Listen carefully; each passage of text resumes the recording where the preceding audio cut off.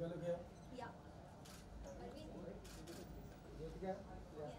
Yes. So Yeah. Okay